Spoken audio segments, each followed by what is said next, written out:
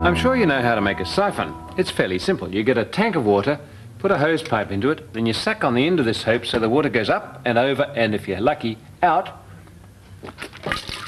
And it should keep flowing as long as there's no air leak that gets into it. It should flow till the top tank is empty. But what a mess! It can go everywhere and you can have several false starts and you may not much like the taste of what you're siphoning. So there has to be a better way, and indeed there is. There's several better ways, and they're known as self-starting siphons. They're very interesting. Some of them are very simple. That one, for example, is a self-starting siphon. It's just a kink of tube, glass tubing. If I put my finger on the end here and lower the, lower the first leg into this tank of water, notice that the water level comes right up to the edge of the tank. That's important. Now let me take my finger off and you'll see that the water rises in that first leg and overshoots, so it rises above water level. Here we go.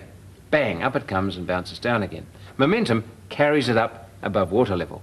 So if I do that again, but bring the kink in the tubing right down to water level, the water should go up and over and out. And there it is, siphoning away, a self-starting siphon with a bit of help from its friends. That'll continue until the water level drops down to the first leg.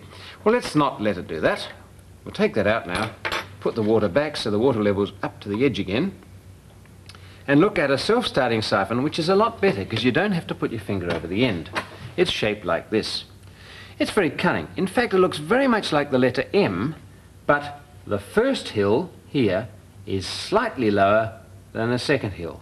And it's made of tubing that's not too thin. That's important as well. So letter M, low hill, high hill.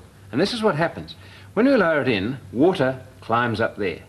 It comes roaring over there and has such speed when it gets to the bottom that it comes up and over and out and it starts the siphon itself. At least that's the theory. Let's see what happens. Watch it closely. We lower it in, water level comes up to that first bend, over, down, around and out. And it only just made it. In fact, it wouldn't have if that hill were too tall or the water level weren't right up to the edge there. So it's a pretty tenuous business, but once it's got going, it too will empty the tank until it gets down to the level of the first leg.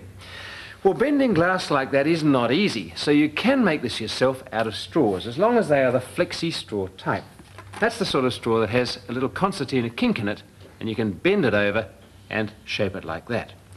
Well, if you want to put one of these into another, and you have to do that about three times for this, this is the simple way. You snip the end make a little cut about half a centimetre long. That means that you can cross the edges over and make the end a bit narrow, and that will then slip inside the next straw if you're careful. It doesn't make a perfectly airtight tube like that, but you can put sticky tape around it or push that little kink in and then ram the straw up over. It has to be airtight. You can check it by blowing on one end while you block off the other. That's pretty good.